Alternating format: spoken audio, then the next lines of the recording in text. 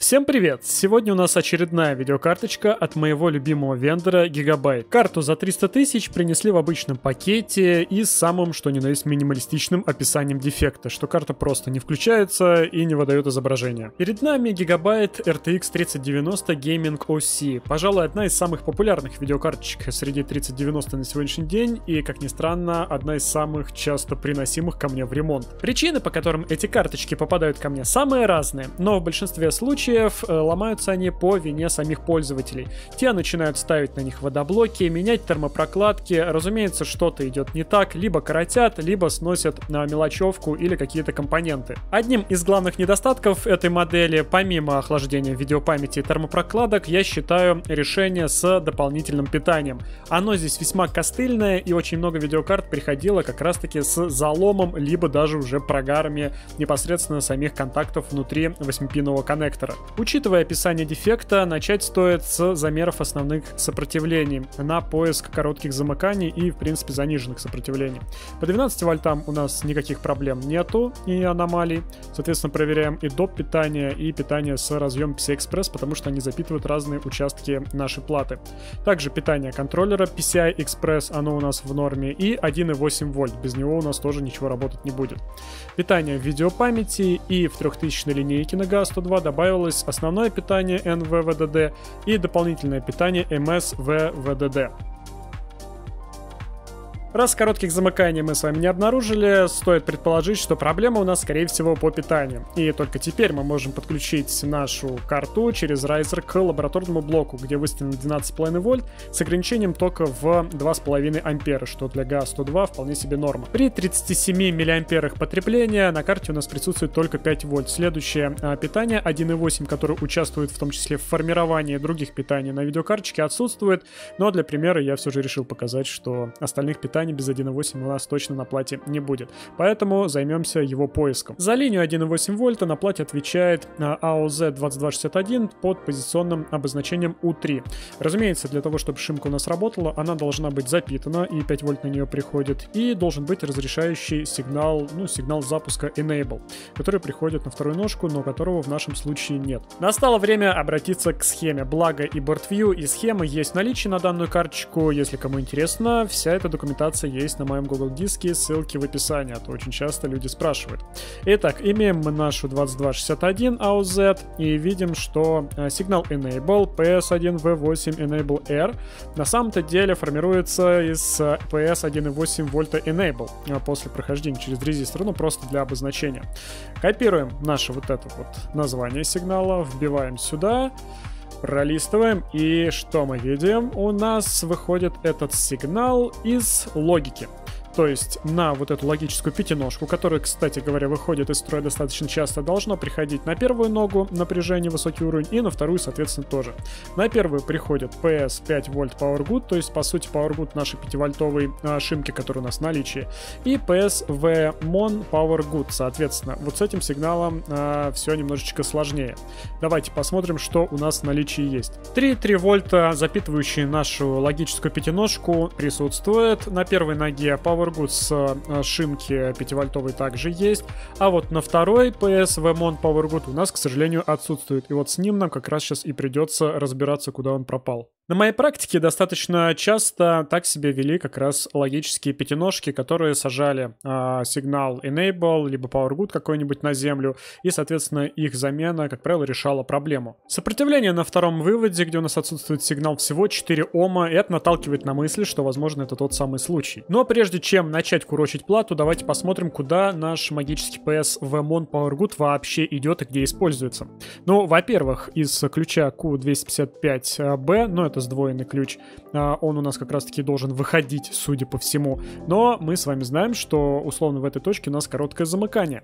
Давайте посмотрим, куда еще. На вторую ногу при запуске MSVDD а, и в том числе с Q7 при 3,3 вольтовом PEX мониторе, но сразу хочу сказать, что в данном случае у нас он не распаян, не задействован. То есть это вариации просто а, разводки платы.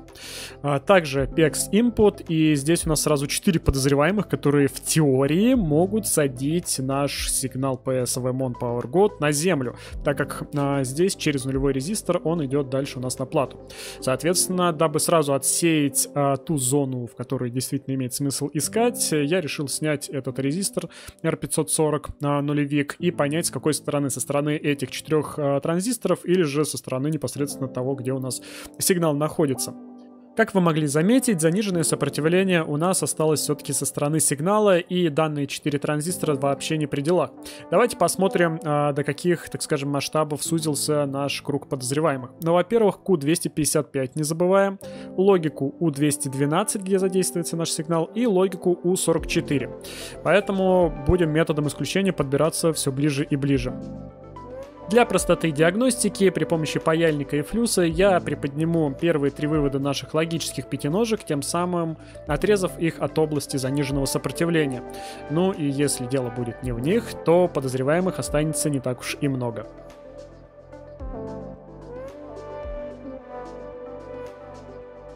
Что и требовалось доказать. Заниженное сопротивление осталось у нас на нашем сдвоенном ключе Q255. Давайте же разбираться, откуда оно там взялось и э, виноват ли в этом сам ключ или же все так, как должно быть.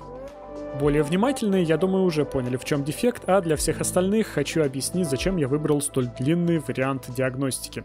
Ну, во-первых, я хотел продемонстрировать все свои ошибки и косяки, а во-вторых, э, показать, что иногда проще проверить э, конкретное устройство на какие-то типовые болячки, скажем, с той же логикой. А теперь запаситесь терпением, и я постараюсь объяснить, что здесь происходит, но, по крайней мере, так, как вижу я.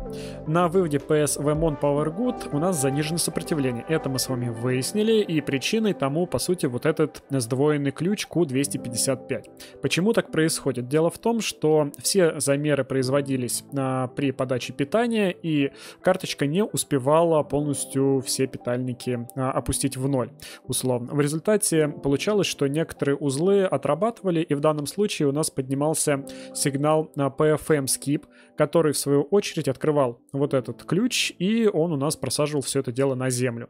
Соответственно, мы здесь наблюдали с вами 3 в э, ома примерно. Почему так происходило? Если мы разберемся про этот PFM skip, то он в свою очередь формируется следующим образом. Э, от 5-вольтовой линии через диод, э, собственно, вот он у нас по сути-то и есть получается, то есть здесь у нас где-то 4,6 вольта, Дальше он идет здесь через R334 а, нулевик и идет дальше в 25 контакт а, нашей микрухи, а именно NCP 45491. Это не что иное, как четырехканальный Voltage Bus четырехканальный High-Side Current Shunt монитор можно перевести на русский как просто а, микруха, которая мониторит и напряжение, и ток посредством падения напряжения на соответствующих шунтах. Но вернемся к нашему ключу Q255. Мы с вами выяснили, что PFM skip у нас составляет 4,6 вольта, соответственно, открывая этот ключик, он садит весь наш этот сигнал на землю. К слову, забыл добавить, что R308 здесь не распаяно, я так понимаю, что вот это может замениться просто вот этим резюком. А в результате я пришел к тому, что у меня отсутствует BSOC. Это своего рода Power Good для нашей шинки 45491, потому что если он есть, то, соответственно, наш узел отрабатывает от 3,3 вольт подтяжка через 10 кОм.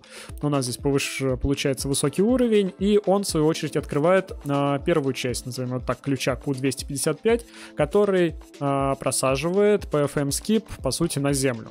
В результате этот ключ у нас не открывается, и на PSV Mon Power Good у нас, соответственно, высокий уровень, и никаких проблем не наблюдается. Соответственно, все приходит к тому, что проблема изначальная была всего-то всего-навсего в NCP 45491. Разумеется, за кадром я ее уже поменял, и нет, дело не в ней, здесь э, дефект куда проще и куда сложнее, чем может показаться на первый взгляд. Но для этого нам надо с вами обратиться снова к даташиту. Пролистываем практически в самый низ, видим здесь возможность э, сразу подключения двух таких микрух и взаимного, так скажем, мониторинга, что, кстати, используется на большинстве топовых э, видеокарточек 3000 линейки, то есть и 2000 тоже в том числе. Там сразу два таких монитора, и выход из строя хотя бы одного сказывается на запуске э, всей карты целиком. В результате нас интересует вот эта часть, и здесь нас как раз-таки интересует наш сигнал отсутствующий BSOC.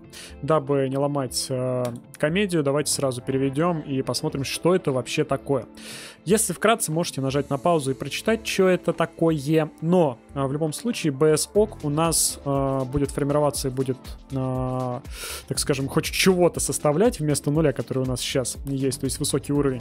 Только в том э, случае, если на э, BS in X, то есть X в данном случае это номер, э, будут формироваться напряжение меньше 0,2 вольта.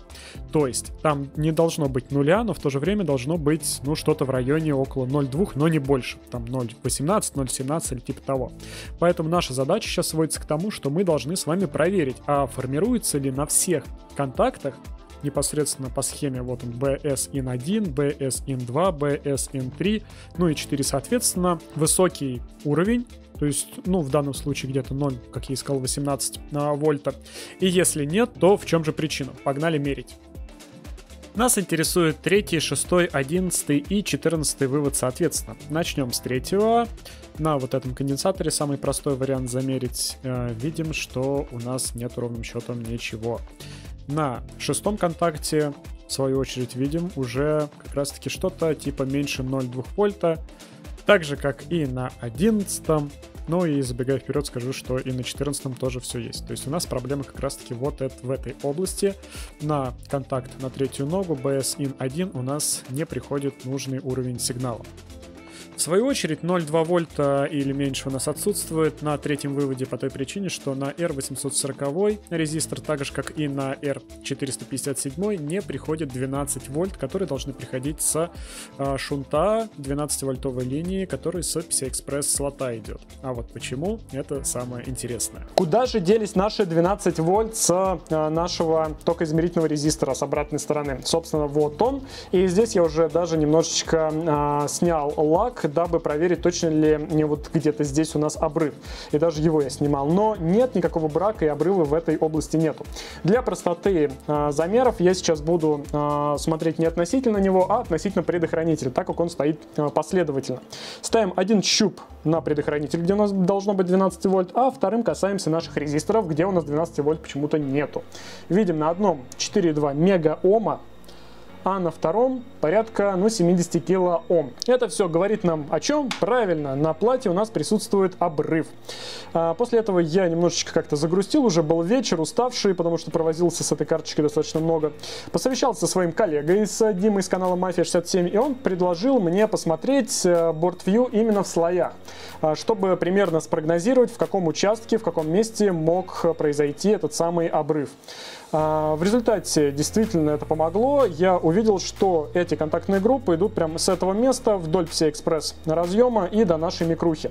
А в результате после внешнего осмотра, который является 80% гарантии успешного ремонта, как говорится, а, я обнаружил небольшой надломчик. Ну как небольшой, на самом деле большой, к сожалению, у нашего как раз-таки PCI-Express слота.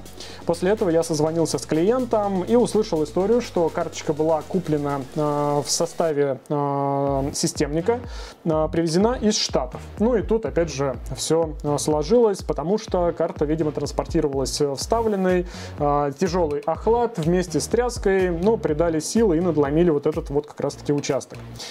А, в результате, что нам сейчас с вами предстоит? А предстоит нам следующее. Во-первых, масштабы произошедшего весьма не грустные. Сейчас вы можете видеть, что ну, количество линий, которые там идут и повреждены, не маленькое. К счастью, с торца я посмотрел, что надломлено порядка где-то, наверное, 40-50% а, этого участка. Но это все равно особо не отменяет того, что придется ну, все это восстанавливать и рассверливать в любом случае. Потому что там контактов помимо наших вот этих двух, которые точно в обрыве, достаточно достаточно много, и они тоже могут быть повреждены.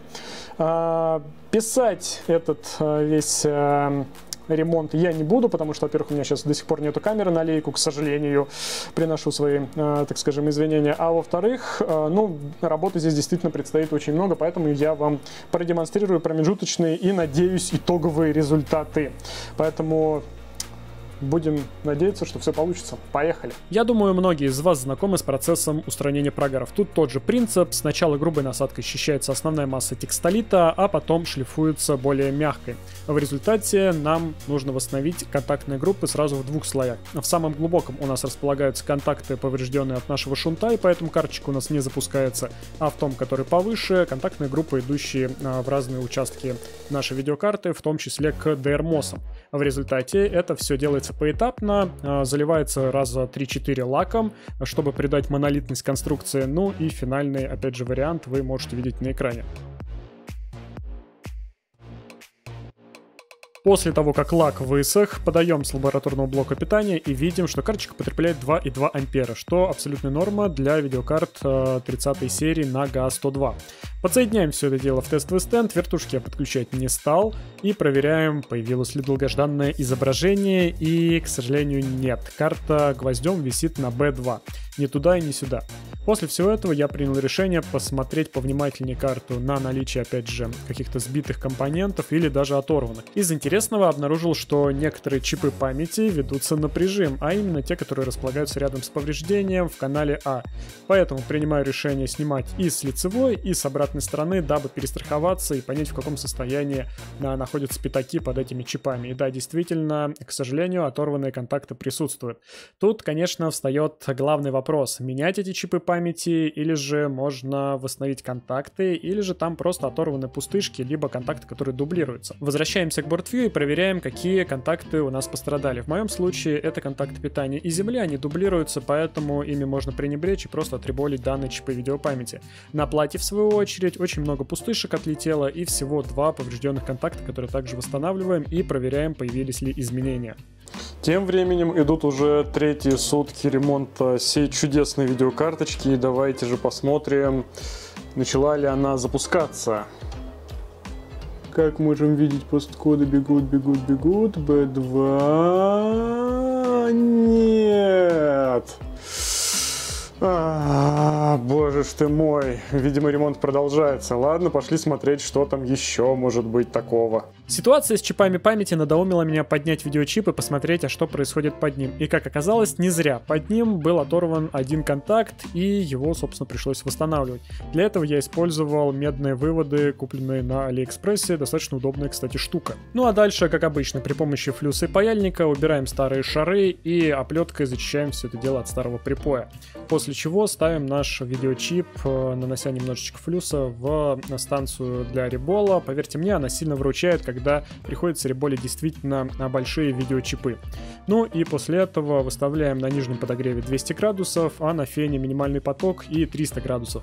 При такой конфигурации чип не поменяет свой цвет во время ребола, ибо часто приносит карточки после других э, сервисов, где чипы реболят, судя по всему, только при помощи э, фена, выставляют там 400-450 градусов, и потом удивляются, откуда появляются волдыри и почему чипы такие черные. Слипшиеся шары я поправил за кадром. А после того, как чип остыл, кладу его в ультразвуковую ванну с обычным спиртом и через 2-3 минуты после того, как он там почистился, а, при помощи вот такой штуки убираю остатки спирта, и как можете видеть, на выходе получаем а, чип в идеальном состоянии. Ну а дальше, как обычно дело техники, наносим флюс, ставим на паяльную станцию и запаиваем.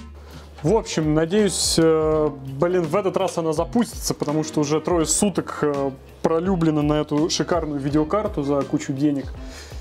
32, 35, 40 и... Б2. Б2. Ну а дальше следовало много нецензурной лексики, и теперь давайте поподробнее остановимся на дальнейших этапах э, ремонта.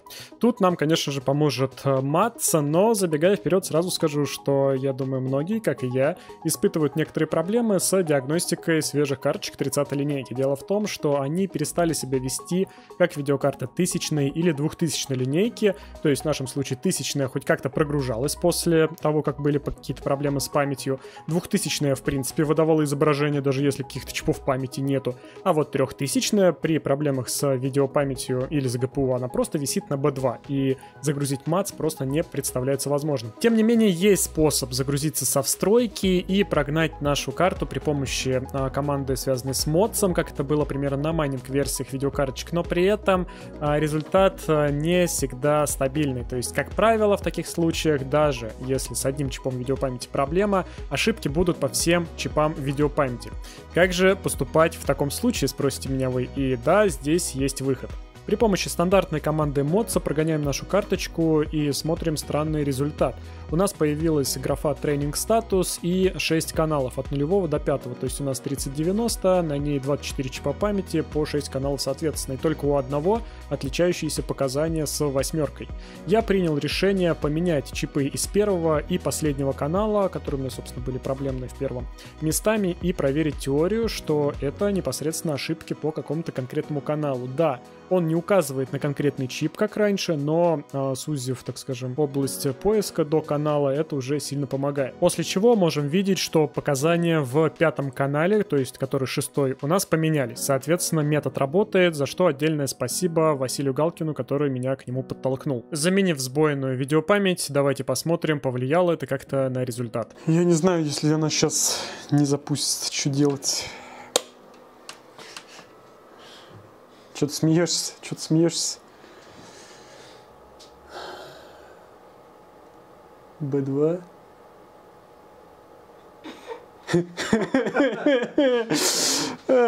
Просто сальто надо назад делать в компьютер и ломать себе шею. Сука, заработала. Четыре дня жизни. Четыре дня жизни. Ну, зато новая методика. Но если вы подумали, что на этом все и карта починена, то спешу вас огорчить. После того, как я собрал карточку, то заметил, что в фурмарке она потребляет не больше 75% своего ТДП и работает на пониженной частоте. Поэтому разбираем карту по новой и ищем причину. Начать решил с самого простого, а именно с проверки фаз питания нашей видеокарточки. И в данном случае питание MS-VDD первая и третья фаза почему-то у меня не активны.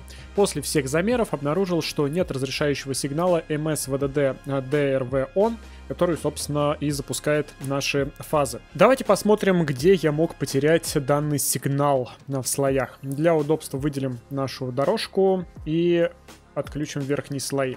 Вот теперь она у нас подсвечена белым, и идем вдоль нее, идем, идем, идем. Она у нас идет вдоль всего PCI-Express слота. Дальше с обратной стороны она идет через э, контакт переходной, так скажем. Э, выходит здесь, здесь, здесь. И видим, что она проходит у нас снова рядом с местом э, происшествия нашим. После чего я решил еще раз все это дело внимательно осмотреть. И я замечал до этого там трещинку небольшую, но не придал ей значения. В результате вот эти две дорожки, они у меня просто-напросто были оборваны, оказывается, сразу в двух местах. Поэтому по новой все это дело высверливаем, восстанавливаем, лакируем и проверяем результат. Только после всех проведенных операций карта стала работать с нормальным ТДП и с нормальными частотами. Стал бы я чинить эту видюху, если бы не было э, схемы BoardView и тем более BoardView в слоях. Если честно, затрудняюсь ответить на этот вопрос, но, скорее всего, нет, потому что объем работ был бы просто безумным. Также мне интересно, напишите в комментариях, какое количество клиентских карт по видеочипу, висящих на B2 3000 линейке, приговорили вы. Интересно посмотреть на статистику. А на этом все. До скорых встреч. Пока.